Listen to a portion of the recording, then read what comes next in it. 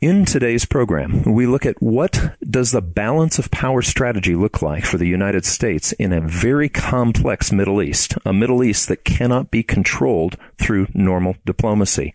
We're talking about Turkey, Iran, Israel, Saudi Arabia.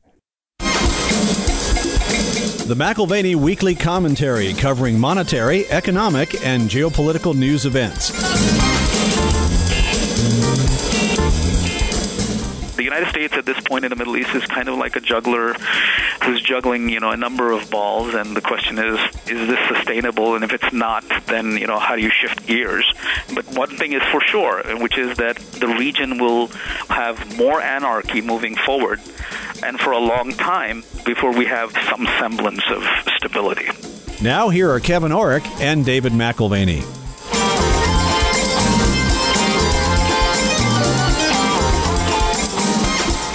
Welcome to the McAlvany Weekly Commentary. I'm Kevin Orrick along with David McAlvany. Our guest today, Middle East expert Kamran Bokhari, is a senior analyst with the intelligence firm Geopolitical Futures and a senior fellow with the DC based think tank, the Center for Global Policy.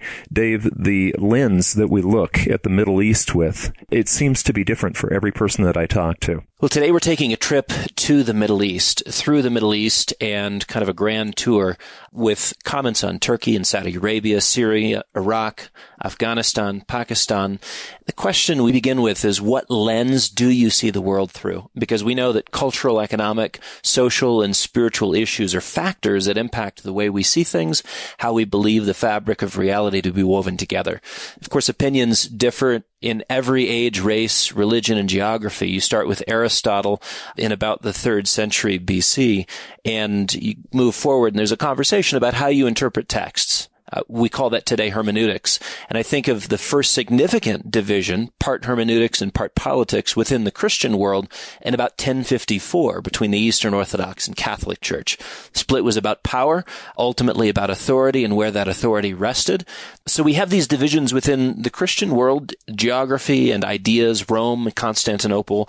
And of course, those divisions were even manifest more when Martin Luther protests in Wittenberg 500 years ago this year and implores implores the church to change and revise its teachings. Of course, the fractionalization begins further with John Wycliffe and Jan Hus, and as I mentioned, Martin Luther, John Calvin, Ulrich Zwingli. There's a parallel within the Muslim world. There is the two broad differences between Shia and Sunni, but it is more complicated than that. And it doesn't matter what lens you're looking through. The interpretive grid that you use to study a text and come to conclusions can lead you to a radically different conclusion. Why do these things matter? Why do we engage the conversation about hermeneutics and politics as we look at international relations and attempt to understand let's say, for instance, the political economy in Saudi Arabia. With us today is Kamran Bokhari, who's visited with us on numerous occasions relating to Turkey and the Middle East. And Kamran, thank you for joining us again. Westerners, who I think lead such busy lives, may not appreciate the distinctions within the world of Islam and maybe even don't even care, asking the question, why does this matter? And I ask Kamran Bokhari today, why do these things matter? Why do the distinctions matter as we engage with international relations issues and attempt to understand political economy in the Middle East? Why do these distinctions and interpretational differences matter? They matter because in order to understand what is going on in the Arab and Muslim worlds, we need to understand the cultural dynamics, the historical trajectory of this part of the world in order to see where it's going and how it'll unfold we have sort of this default assumption that the world must democratize and somehow should have some form of a parallel with the European experience or the Western experience, the trajectory that runs from the Renaissance through the Reformation to Enlightenment and beyond, and the flowering of Western democracy. I mean, our Western culture, in many ways, prevents us, becomes a handicap in terms of trying to understand the rest of the world and how it's unfolding. And here we can not limit ourselves to the Muslim world. We can talk about Russia, we can talk about China, Africa, other parts of the world that are not necessarily going to democratize along that same line. In other words, what I'm saying is that there is the argument that has been recently made that Islam is exceptional. I would sort of flip that and say, actually, what is exceptional is the European trajectory, which is, you know, the Renaissance, Reformation, Enlightenment trajectory. And therefore, we may want to look for parallels. Uh, you know, we may look for Martin Luther's in the Muslim world, and, and that's a reasonable way of looking at it. But we really need to understand ground up who are the players? Who are the characters? I mean, there is no, if you will, parallel to or an equivalent of Catholicism within Islam. You know, some people will argue that Shia Islam is more closer to Catholicism than is the majority Sunni sect. But nonetheless, it has its own dynamics. And therefore, to look for a clergy and then to say, you know, are there reformists within the clergy? I think that that has a limiting effect in terms of trying to understand where is this intra-Muslim religious struggle going. You say that while most jihadists are Salafists, the reverse is not true. We think of the Islamic world as divided most broadly between Sunni and Shiite, two competing groups that have wanted power of the Muslim world.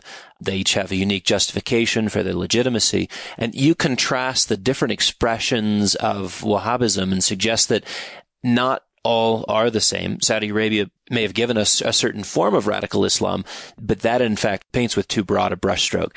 Why don't you walk us through the history of the Saudi Peninsula and the distinctions within Salafism and just explain a little bit why that careful analysis is so important on the subject? Yes, indeed. I mean, most people will look at, in a binary fashion, the Shia and the Sunni struggle and not understand that within the Shia camp, there are multiple subdivisions, and more importantly, within the majority Sunni camp, there are lots of divisions.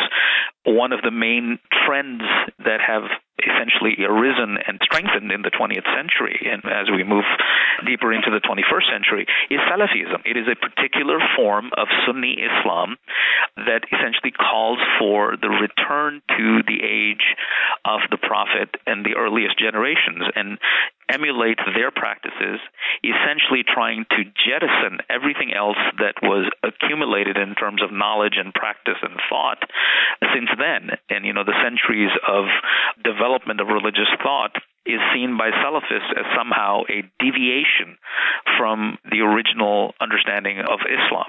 But Salafism itself is very complicated, and this is something I argue. And I just recently finished my PhD dissertation in which I look at this and I say that centrifugal forces, you know, geopolitical centrifugal forces are ripping up if we can call it that, Salafism and pulling it into three different directions. There is the original Salafism, which is composed of scholars and students and followers. You know, that's I wouldn't say apolitical. I would say it's quietist in the sense that they don't engage in formal politics. And I draw a distinction between quietist and apolitical behavior. One is not the same as the other. You could still be political, but be quietist. And when I say quietist, I mean not have political parties, not deal with the government other than what is necessary in terms of, you know, registering your religious society, your mosque, your center. And in the case of Saudi Arabia, for the Salafis that form the majority of that country, and I'm not talking specifically about the religious establishment, I'm talking about everybody in that country who subscribes to Sunni Islam, you know, subscribes to Salafism in one shape or form. It includes the Saudi royal family and includes the common person and of course the clergy or the religious class. And for them, the Saudi kingdom is already an Islamic state, and therefore there is no need to indulge in politics. The extent to which you should indulge in politics from the point of view of those Salafists and the government is to support the government and support this Islamic state. And this is the effort that Riyadh is trying to do to counter those who are challenging Saudi Arabia First it was Al Qaeda, and now it's ISIS that's trying to do that. So that is your one form of Salafism, which is quietist, which is no formal participation in politics. And, you know, there's a form of quietist Salafism, which is in Saudi Arabia. There's another form of quietist Salafism that is in Egypt, which is unique to that country because of its political and social conditions. But then there are the jihadist Salafists, those who say that quietism does not offer a solution to the political problems of Muslims. And they reject the idea that Saudi Arabia or any other state that claims to be Islamic is actually Islamic. And they say that that Islamic state, some will pursue a caliphate like Al Qaeda and ISIS. Others will say, you know, we're content with an emirate, a limited state for now, and we'll get to the caliphate when we get to it. But the bottom line is that those people uh, who subscribe to jihadist Salafism seek to establish a state that does not exist, and they think that armed struggle and jihad specifically in the military sense, because jihad is very broad, but in this case, they're really talking about the military form of jihad. That is the way to establish that Islamic State.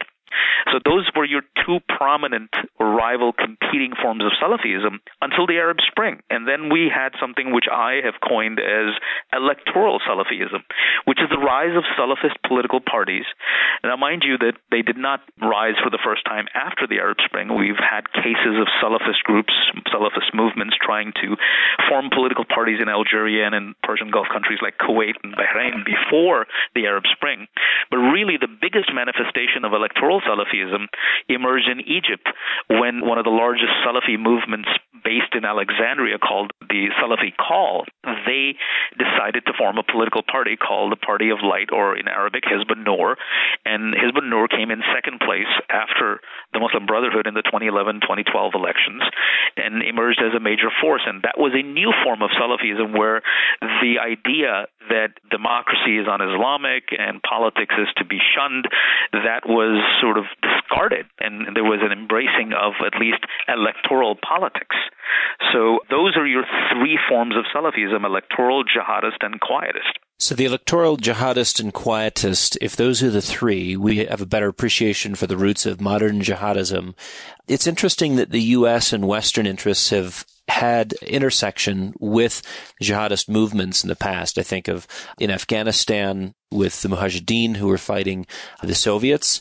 And I wonder if there's any helpful background here that relates the U.S and our sort of intersections with uh, jihadists, not in opposition to them, but actually helping them at certain points in history. And of course, now we have sort of the opposing and conflicting points of geography, but we, we've actually helped more than hurt if you're looking at history. Is that partially true? I think it is, and it must be understood within the logic of the Cold War.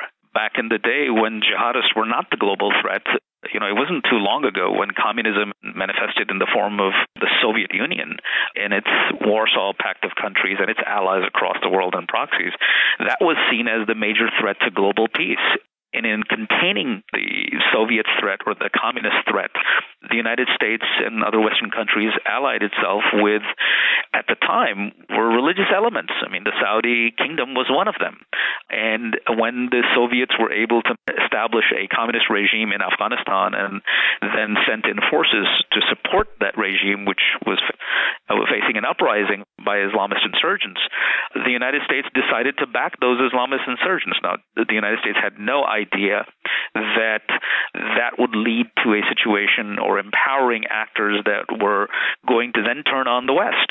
And so at the time, the idea was we have a threat. It's called communism in the Soviet Union. We need to neutralize it and it was convenient to play with any and all actors or align with any and all actors that were ready to fight in this struggle. And hence, we supported the so called Mujahideen. I don't like to use that term. It gives them sort of religious legitimacy. I would rather use the word Islamist insurgents. A, to not do that, and B, to remain objective. And so those Islamist insurgents were largely Afghan groups, seven groups in total. But then there was a large contingent of foreign fighters there was the Arab Legion and Osama bin Laden, who would later go on to found Al Qaeda and then attack the United States. He was a prominent figure in the Arab Legion. His mentor, Abdullah Azzam, was another one. But then there were fighters from all across the various Muslim countries. You can go to Southeast Asia and you'd see volunteers in Afghanistan fighting alongside the Islamist insurgents. I doubt there were many from Central Asia because Central Asia at the time, the five stands, they were part of the Soviet Union, so it was impossible for Muslims from that part of the world or even Chechnya to participate on the side of these Islamist insurgents who were fighting Soviet forces and their proxy communist government. But nonetheless, there was this transnationalization of jihadism and different forms of Islamist insurgents with varying degrees of objectives and incentives and ideas about what the future ought to look like. They were able to come together. It was almost like an incubator for what would later become the transnational jihadist threat. Now, it's interesting. We have a new incubation process and it's online. We know that there's a broad push to gather people in and draw people into the struggle, if you will. And a lot of the recruitment and radicalization has taken place online. We've asked the question before on our program, who controls the internet? Under what circumstances would freedoms be eliminated or ideas and opinions censored? Who adjudicates what is legitimate religious expression versus what is radical? And you argue that it is an imperative to craft a counter message to the message which is found compelling in that radicalization process. I'm curious what your opinion is. What is the appeal in the radicalization message I mean, the appeal in the radicalization message stems from a variety of factors. So, one is the lack of a coherent identity on the part of the potential recruits. Socioeconomic underdevelopment or downright poverty. The idea that the status quo is somehow inauthentic and that religion, Islam, and the Muslim identity will provide for a solution to the problems of the here and now. And the lack of a centralized, or at least one center, you know, there would be multiple centers, as was the case in the past, in the pre modern age, that speak for Islam now, one of the things that has happened with the globalization effect, especially with the spread of online technology and the emergence of many platforms, particularly social media, there can be multiple centers of, you know, who speaks for Islam. The mosque is no longer the local mosque is still where you go and pray, but that's performing a ritual. You may not necessarily agree with the imam or his sect or his views, and it's almost everybody has sort of what I would call, you know, a microwavable Islam, because you don't need to go to, you know, a restaurant to eat. You can bring home food you know microwave it in your microwave oven and be done with it. I think there's a parallel here with ideas. I think that people are, you know, there's a term that's used in Britain, and it's called do it yourself. The acronym is DIY. I mean, there's a do it yourself Islam, and it depends on who is doing it and then there are many people, and which is why you have all these chat rooms and these various factions. And one of the things that sort of is laid bare here when you study this is just how deeply fragmented Muslim religious thought is. And we just talked about the three main types of Salafisms. It goes much deeper than that. I can tell you that there are rival Salafists within the quietist tradition in Egypt who compete with each other based on geography, based on personality, based on a difference of ideas. And this hyper fragmentation is made possible and is continuing because of the ability to communicate now. I mean, in the old world, when we were dealing with the Soviets in Afghanistan, we didn't have an internet. We didn't have cell phone technology. And at that point in time, things seemed more packaged, more coherent, more digestible. But now, what does it take to form a group? It could be a Facebook page. They may not even exist in real space. And then you go from there, and people then move on and graduate and become actual groups in physical space. And so I think that this is something that is not only preventing the emergence of a counter narrative, but also what is, in other words, promoting the problem or exacerbating the original problem, which is of radicalization and spread of extremism and particularly violent extremism. Yeah, it's interesting the challenge of creating a counter message. What does the counter message include? If it's crafted in the West, is it dead on delivery? If it's crafted from within Muslim circles, is it immediately suspect because it has a more moderate tone? It sounds to some degree like an old fashioned propaganda war. Some will call it that. You know, the certainly Islamists and jihadists will look at a counter narrative and say, you know, this is made in the USA and therefore illegitimate to begin with. And I think that it's very difficult to talk in great detail as to what is it, what are the ingredients for a counter narrative this is something that we're currently dealing with. I mean, it's this is not something that has happened in the past, and we are studying it as a work of history, and we're just trying to understand what happened in the past. It's almost like you know we're trying to run with a bullet that we've fired from a gun, and we're trying to understand where it's going to go. What is necessary, though, is that any message any counter message must be seen as legitimate and authentic by the target audience, or at least a good number within. Not everybody will subscribe to it. There will be lots of doubts raised, and our enemies, the jihadists, have you know their own psychological operations shop running, and they are working feverishly to try and discredit any moderate prescription or any alternative. Let's, I mean, even the word moderate has become sort of a bad word in Muslim societies because it's somehow seen as less authentic. We used to have the problem of the word secular, which meant irreligiosity to many Muslims and not religious neutrality, which is how most people look at secular or secularism. But now even the word moderate and moderation is somehow seen as diluting your identity and your beliefs. And that's a big challenge. How do you come up with a message that will gain some traction? And that traction requires legitimacy and authenticity, not just in terms of the message, but also the one who is providing that message. So, not everybody can craft that message. You must be seen as an authentic, legitimate player to begin with. And then you run into the problem of okay, so who is an authentic and legitimate messenger or actor within this space?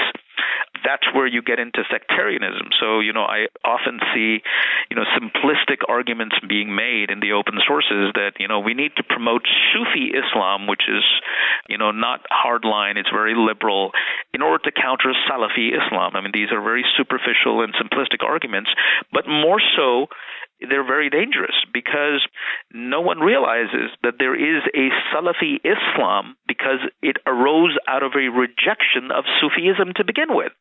And to get Sufis to counter Salafis is like adding more fuel to the fire. And I mean, let's not even get into, you know, what would happen if we were to say, okay, let's get Shiites to go and, you know, counter Salafis or Sunnis. We're seeing the geosectarian war raging in Iraq and Syria. That would just exponentially grow. Not that it isn't already, but that's my point is that you have to sort of navigate through this minefield of sectarianism and you can't align yourself with the sectarian other in order to undermine the radicals and the extremists. I firmly believe that, you know, the solution lies within Salafism itself. We need to have actors within Salafism who realize that quietism and jihadism is undermining their own faith and they have to evolve. And yes, in many ways, I say that, you know, electoral Salafism must be encouraged.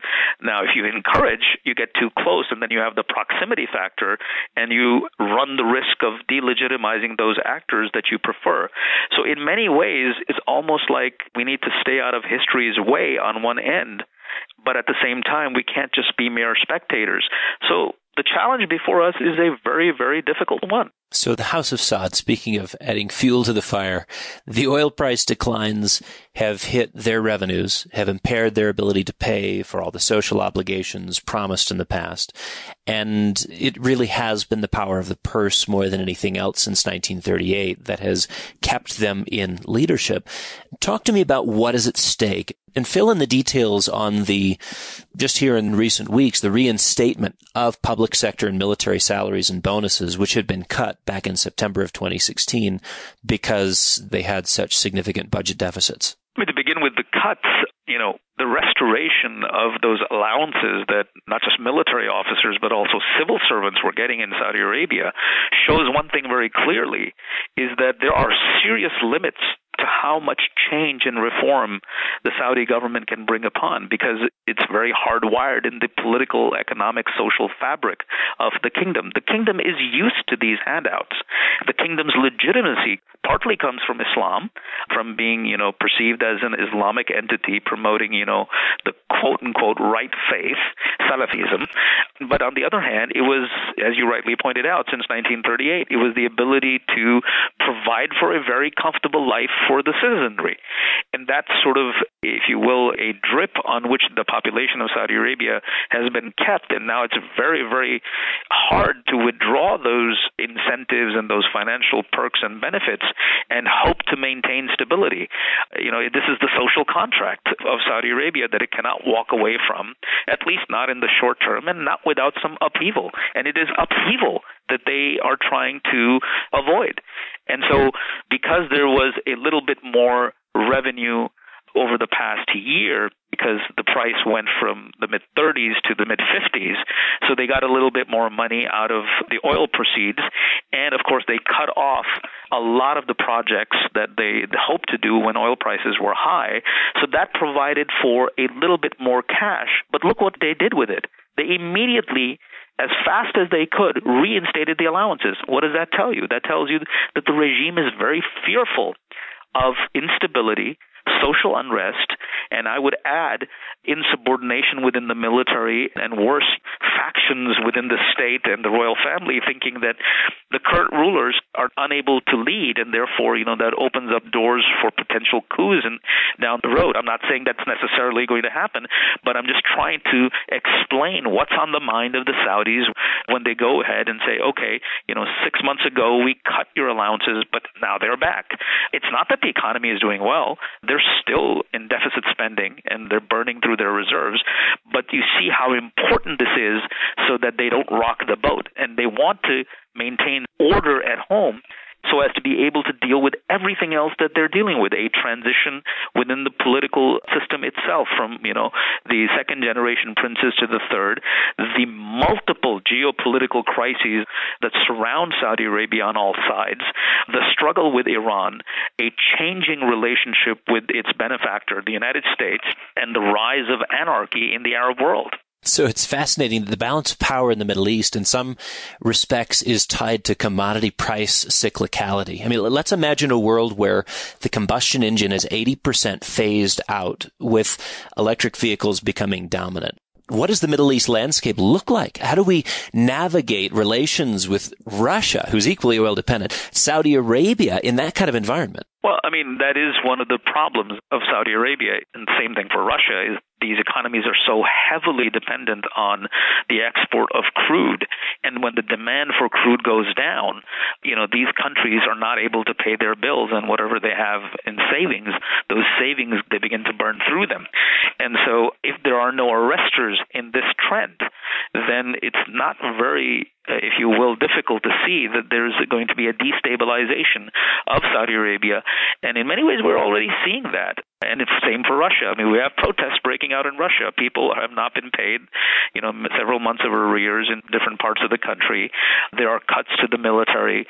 And the intervention in Syria is Putin's way of demonstrating that the Russian regime is very strong to his own people. And, you know, then again to the outside world, those are two separate imperatives that the Kremlin has.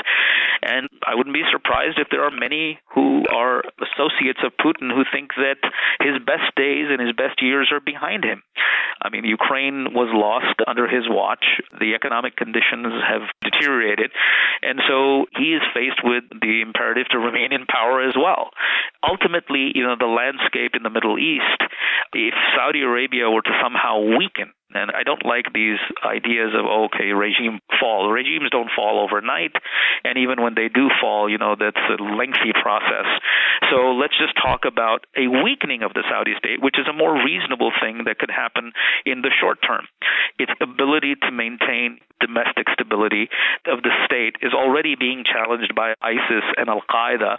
ISIS from the north and Al Qaeda from the south in Yemen. The war in Yemen is a huge drain. And so it's not really beyond the pale to start imagining a Saudi Arabia that has an insurgency in its country an active one, and protests and disgruntled people and the chaos that is associated with the government that's been weakened financially. When we say active insurgency, I mean, we, when we're describing the three strands of Salafism, we're describing one of them, the jihadist, which is unhappy with the status quo and can't perhaps get enough traction to get rid of the House of Saud because there's too many people who are happy with the funds that they're receiving directly from the state. What does the Saudi Peninsula look like without the House of Saud? Well, when we say without the House of Saud, I still think that they will be around. They won't vanish. But their ability to project power, their ability to establish and maintain their writ within their own territory is going to be weakened. I mean, keep in mind that Saudi Arabia is one of the four major powers in the Middle East, eh, Turkey, Iran, and Israel being the other. And it's very apparent that the only Arab one is Saudi Arabia, and it too is weakening. So if it weakens, you know, its ability to support Jordan, its ability to support Morocco, Egypt, you know, its ability to support the internationally recognized government's efforts to regain power in Yemen, Lebanon, where it has interests, its efforts to support the rebellion against Assad, which is already floundering, you know, that ability decreases sharply. And so there is more chaos in the region, and then there is more chaos in the kingdom. There's more space for non state actors, ISIS and Al Qaeda. And even if Al Qaeda and ISIS are, you know, the jihadist Salafists, I mean, there's a built in sort of contradiction within the kingdom where the more that the kingdom tries to fight Iran and to struggle Iran against Iran and counter its rise in the region, the more it empowers Salafists. I mean, if you look at the way that ISIS became the biggest militia in Syria, is because it benefited from that sectarian warfare or the sectarian struggle that the Saudis were promoting in order to topple Assad and hope to be able to punch a hole in the Iranian sphere of influence. At the same time, Salafism, they have to reform, and the quietists have their own problems.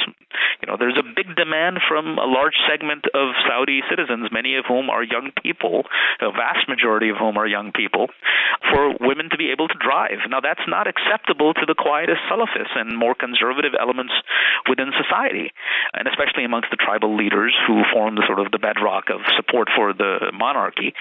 How do you move towards reform and not upset the quietist Salafists? And then, if you upset the quietist Salafists, the question is how many of them will go and join the jihadists? Or at the very least, it opens up opportunities within this space for the jihadists to exploit. And so the Saudis have a major, major challenge. How do you remain who you are protect against the rise of Iran and Shiaism in the region, and I don't mean religiously, I mean geopolitically, and at the same time change who you are and retain that legitimacy.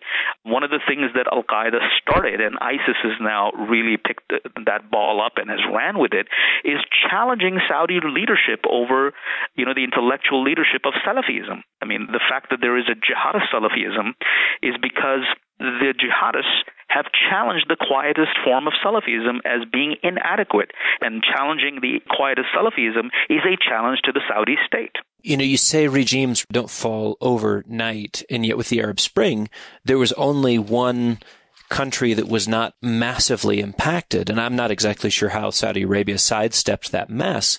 Can they continue to sidestep that mess? And again, in the past, they've maintained power. Will they continue to maintain power into the future? We had assumed such with the Mubarak regime. We'd assumed such as you move through various countries in North Africa.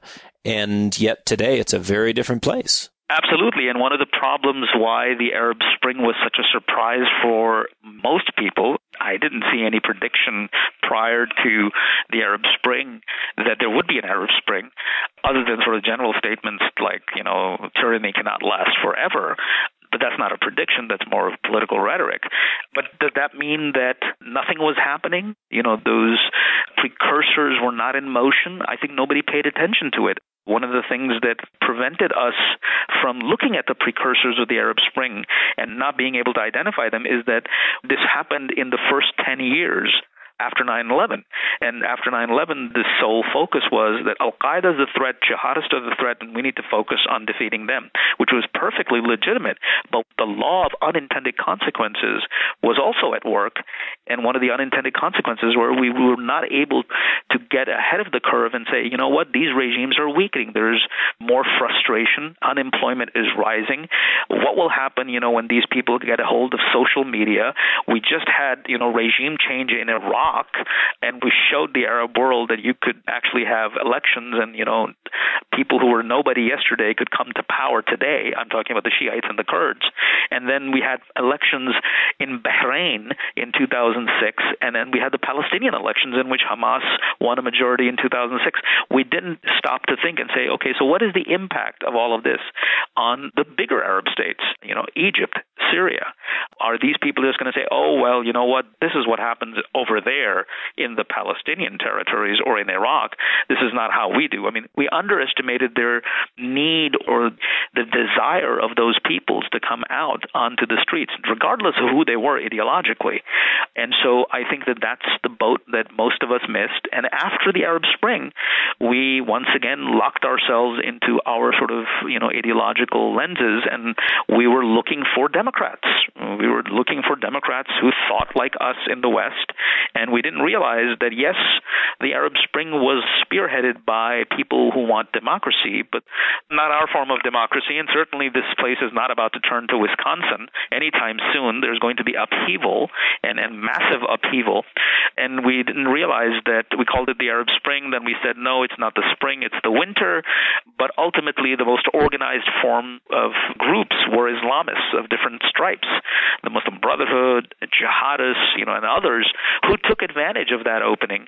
And it reinforced the ideological divide between those who were Islamists and, you know, those who were called secularists, but that term is problematic in terms of applying it to the Arab Muslim world. So I'll just say non Islamists.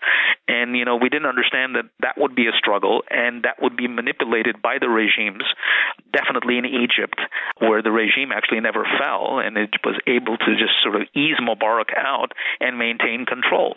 And so we have these problems of not being able to understand things ahead of time because we're sort of living in the moment and we confuse what we want to see happen with what is actually happening. We talk about Turkey, Iran, Israel, Saudi Arabia, these being sort of the four powers, regional powers, there is this significant swing vote, if you will, from Pakistan as a regional military assistant. And you go back to the 60s and 70s and 80s, and at various points in time, the Pakistan military has played a very significant role, whether it's in putting down the PLO in Jordan as they rose up against the Hashemite regime, or there's dozens of instances where Pakistan all of a sudden is playing a role. We now have the Islamic military alliance. Saudi Arabia is sort of the, they're sponsors of it, if you will. Pakistan is involved in that.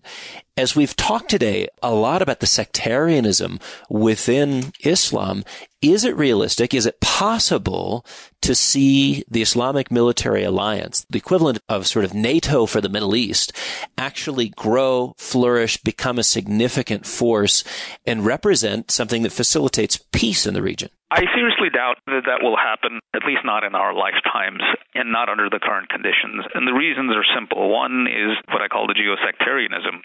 So, yes, from a Saudi point of view, the Islamic military alliance is a potential tool to counter Iran because the United States is no longer protecting Saudi Arabia the way it used to historically. The Saudis have no military power of their own, and so they need to have a coalition of countries to counter Iran and its rise. I mean, it's very ironic from the point of view of the Saudis is at a time when Arab world is hollowing out and Saudi power is declining, Iran's fortunes are rising and they feel an increasing sense of vulnerability. So they reached out to the Pakistanis, and the Pakistanis have no shortage of problems on their own end, and they're not really enthusiastic about this, but they have a certain relationship that they cannot ignore with the Saudis. And so they feel obligated. And if we look at what they've done, so far, they've just given a retired general to say, okay, you know, he's our best guy, most respected general in recent memory. Why don't you take him and he becomes the commander? And we can give you a brigade as well. I mean, that's to the extent that reports can be relied upon. We don't really know what's happening behind the scenes, but if I were to guess, I think that there's huge resistance from Pakistan to play this Saudi game too far because Iran is a neighbor and Pakistan has already been burnt by this Shia Sunni violence. 20% of all Pakistanis are Shia. And that's a significant minority. And the last thing the Pakistanis want, given the extremism and the sectarianism in the country, to ruin that situation further or make it worse for themselves. And so I think that at the end of the day, there are limits to how far the Saudis are going to get others to volunteer. The Egyptians, although they've been taking money from the Saudis, they too are very worried about this. They have no shortage of problems in their own backyard, and they don't want to get involved in what is clearly, from their point of view, from an Egyptian point of view, a Saudi war or a Saudi's national security need imperative. Turkey, you know, despite all the talk of being, you know, an ally of Saudi Arabia, a fellow Sunni state that sees eye to eye on against Assad and other regional issues, and the Turks want to be the regional hegemon. They don't want to follow the Saudi diktat, and they see themselves on the rise as well. And at some point, they see themselves as being the leader of the Sunni world. Why would they join an Islamic military alliance that would expend their resources, both material and human, and no benefit from it? And from the Turkish point of view, Syria is a bigger threat, and specifically the Kurds. And so going to Saudi Arabia and protecting, you know, their symbolic value and, you know, the, yes, it's the holy places and so on and so forth, but that's symbolism. The geopolitical reality for Turkey is more immediate and on its borders.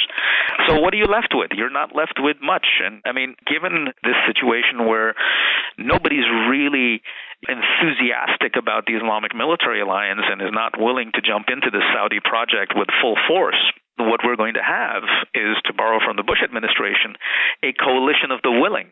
And those in this coalition are really weak entities who either are obligated because they are recipients of Saudi financial assistance to participate, and that doesn't add up to a whole lot of players. And then there's just the logic of creating a coalition like NATO. I mean, it takes time. There are logistical details that need to be worked out. Who is going to provide how many soldiers? What is the joint command going to look like? What will be their capability? What is the mission? All of these things are exceedingly ambiguous, and unless those issues are hammered out, I just don't see how this so-called Muslim NATO is going to take shape. The sacrifices involved in setting up an organization like that require a significant threat that people can rally around.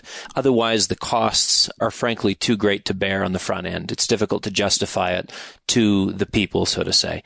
You know, one question on Iran again, backtracking on the Iranian nuclear deal certainly does not hurt U.S. and Saudi relations.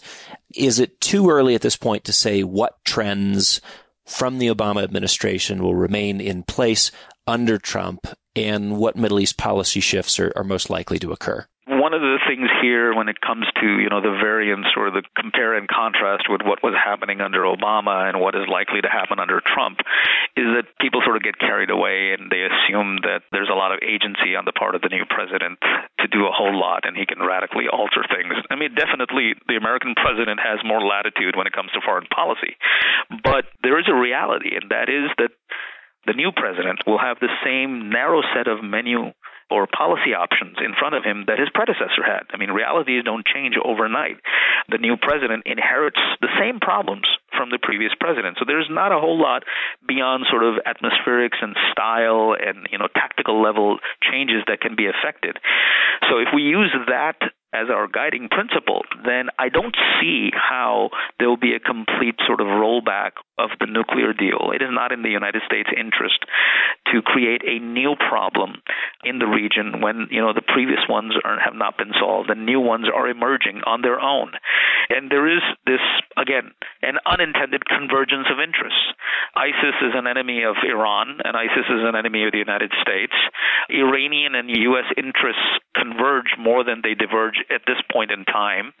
And I don't see why the Trump administration or any other president would try to undermine the status quo. What is the benefit from it? Unless the Iranians are trying to somehow exploit the nuclear deal and become far more powerful and disproportionately more powerful than the United States wants them to. I mean, in that respect, I can see how there would be efforts to place limits or to sort of scale back on certain issues with regards to the nuclear deal. But I don't see a major course reversal here.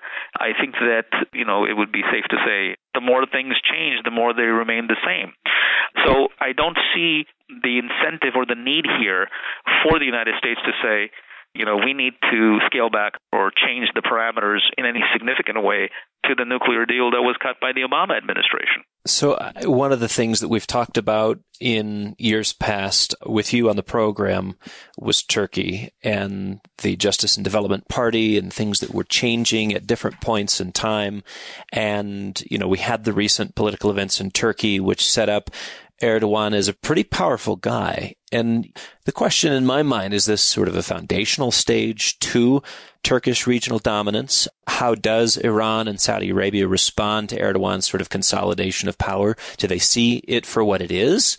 And then sort of maybe on a take it up to 30,000 feet, we had Ataturk who led Turkey through secularization in the post World War I period. Is Erdogan sort of the foil for that in the post 9-11 world, taking Turkey back to its Ottoman roots? I would say that there is no going back in general, anywhere. You know, you never really go back. Yes, history repeats and rhymes and whatnot, but you never really go back because what was evolves rapidly as the years and the decades and the centuries roll on.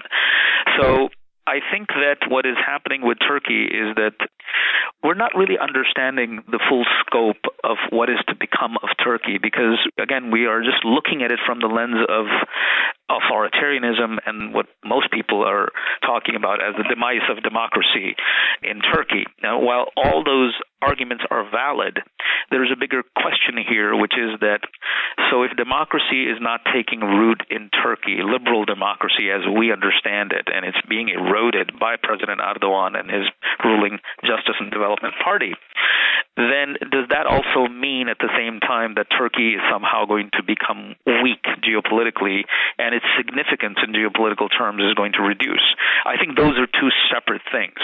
I mean, keep in mind that Turkey was not a Western democracy to begin with in that sense. I mean, Ataturk's democracy had no room. So, yes, there were parallels between, you know, French laicism and Kemalism in the sense of zero tolerance for any public religious activity in civil society, but that wasn't what it was in Britain or, you know, in the United States, Canada, you know, the larger democracies of the West. And so it wasn't a Western democracy to begin with. Yes, there was secularism, but there was no freedom for those who opposed secularism. Now you go through the decades and we see the slow moving away from that form of secularism to an American style, for lack of a better term, secularism, where the state does not impose religion, but the state allows for religion to be practiced in civil society. I mean, you can bring in the examples of, you know, the religious schools that have grown over the years of AKP rule and, you know, the wearing of the hijab, and now also it's allowed for women in the military to don uh, the headscarf. So, yes, that does happen. And so we need to understand that it wasn't a democracy in our sense to begin with. Now, to the extent that it was, obviously there is erosion to that.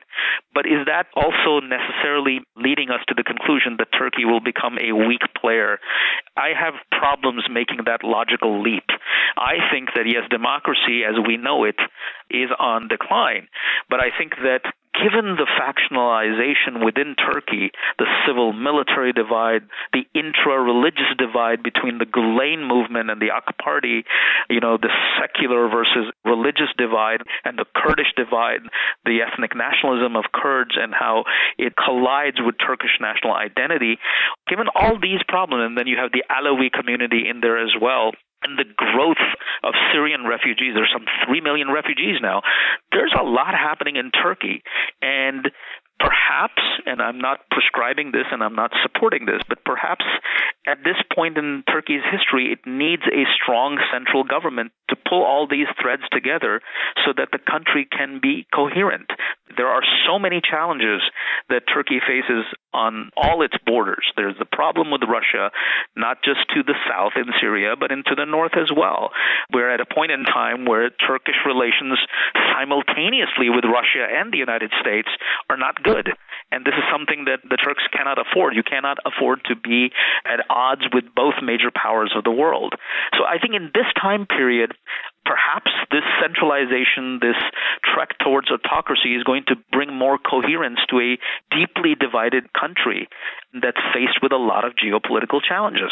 You're right. It doesn't fit sort of the Western model of progress. And that's where we started by talking about the way we view the flowering of democracy informed by the Renaissance and Reformation and Enlightenment. And it's a different story in Turkey altogether as they are juxtaposed with Iran, Israel, and Saudi Arabia, that move towards a strongman probably does give them greater stability for many of the domestic issues which you just outlined and maybe even on a geopolitical basis raises their profile and puts them on a more even playing field. Maybe they were on one to begin with, but it certainly strengthens their position, I would think, from a geostrategic standpoint with those other countries in the area. So when we as Westerners look at the Middle East and just say, gosh, this is awfully complex. There's a lot of players. There's more sectarian interests than we can remember. How do we stay engaged? What are the critical points to keep an eye on moving forward as it relates to U.S. foreign policy, as it relates to the global markets, and a trend towards either further globalization or deglobalization? The answer to that question will be different for different people. So obviously, as much awareness as is possible about the issues helps, and this helps, you know, from the average citizen in the United States and in the wider West, and going all the way to the political, social, economic elite. So yes, I mean, there's no substitute for knowing more, for trying to understand the nuance and the granularity. That's a must. How does the United States and the West deal with this situation from a 30,000 foot level, from a higher altitude, is essentially the balance of power strategy. The United States cannot impose a solution to these problems. If it could, it would have happened a long time ago. I mean, let's look at Afghanistan. The question is how long will the United States continue to support a government and continue to deploy forces in a country where the outcome is nothing. You know, there is nothing to show for after 15, 16 years of being in that country. So there is no way that the United States can impose some form of order. It's just beyond the natural capability and the scale of the problem in the region. Therefore, what you are left with is a balance of power strategy. You deal with the four major powers, hoping that Saudi Arabia will be included in this, you know, down the road, and you continue to balance between the two. You rely on Turkey to take the lead in Syria. It's a difficult thing to get off the ground. We're struggling with it and have been for a very long time because of a divergence of interest between what America feels is important at this point in time and what the Turks feel is important. There's a very strange relationship with Iran.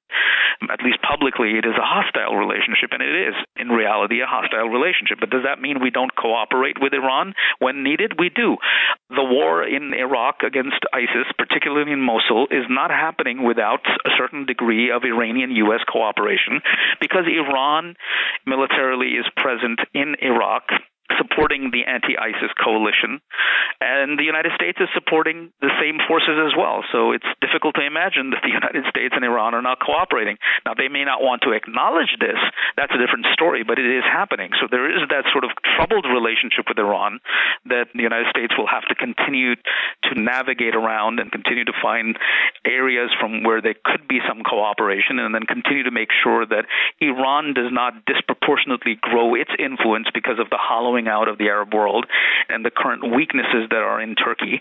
But over the long haul, the United States will want to use Turkey to counterbalance Iran, and then you know the Sunni Shia thing has to be done through some form of Sunni actor, and the Sunni actor at this point in time is Saudi, and we've talked about how it's a weakening actor. So there are going to be problems on that end, and then of course the U.S. relationship with Israel and Israel's security and how all of this mess is impacting Israeli national security. That has to be factored in. It's certainly something that keeps the Israelis up at night, and I'm sure it's being discussed when you know Israeli and U.S. officials meet in terms of what they can do jointly and you know what each side needs to do on its own the United States at this point in the Middle East is kind of like a juggler who's juggling, you know, a number of balls and the question is is this sustainable and if it's not then, you know, how do you shift gears? And it's really not clear to me where this will go in terms of a US strategy. But one thing is for sure, which is that the region will have more anarchy moving forward and for a long time before we have things coming together. You know, in other words, there's more fragmentation in the years ahead before we can say, okay, you know, now this place is going to turn around and there's going to be some semblance of stability. it seems to me and sounds to me like the balance of power strategy for those who aren't directly engaged. It's like avoiding the conversation with the butcher. What exactly went into the sausage? You don't really want to know. I mean, it, it, there's a lot of parts and a lot of pieces. And maybe at the end of the day, you just want to enjoy the outcome and not worry how we got there. There is a lot of work in understanding how we get there. We appreciate the insights that you're bringing to our process of appreciating the landscape and taking us on a whirlwind tour, a trip, if you will, on this Wednesday through the Middle East. We've been able to visit Turkey, Saudi Arabia, Syria, Iraq, Afghanistan and Pakistan.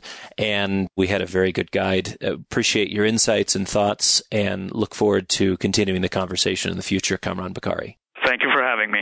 Well, Dave, we've had Kamran on many times, and actually, when we have questions on the Middle East, it's so complex. I mean, if you think about it, it's not just religious differences. Okay, we're talking about Islam, but what are we really talking about? We're talking about Shia, we're talking about Wahhabi, we're talking about Sunni, and all the little differences that fit into that. But we also have this new realm that's come about over the last few hundred years, which is called nation states. We have Turkey, we have Iran, we have Israel, we have Saudi Arabia, and actually a lot of those countries didn't even exist in the form that we see today, you know, 75 years ago. So it's interesting to listen to this because if we think we have an opinion in the Middle East and it's based on Western thinking, we should check our opinions at the door. You know, financial, economic, political, geopolitical, these are categories of interest for us. And when we look at the U.S. political economy, it is absolutely influenced by a factor, many factors, but one significant one is oil. So when we think about the Middle East and we look at the role that Britain played in the Middle East, the role that the U.S. today plays in the Middle East, right. it's absolutely imperative to look at the nuance of what is happening there because what happens there does impact us, even at the level of our pocketbooks. Thanks for listening to today's McAlvany Weekly Commentary. We'll see you next Wednesday. Be sure to follow us on Twitter at ICA Gold. You'll get our latest updates and market thoughts there. You can actually follow David as well at David McAlvany. And if you'd like to learn more about us or talk to us, give us a call at 800-525-9556 and you can always visit us at McAlvany.com. M-C-A-L-V-A-N-Y dot com. This has been the McAlvany Weekly Commentary. The views expressed should not be considered to be a solicitation or a recommendation for your investment portfolio. You should consult a professional financial advisor to assess your suitability for risk and investment. Join us again next week for a new edition of the McAlvany Weekly Commentary.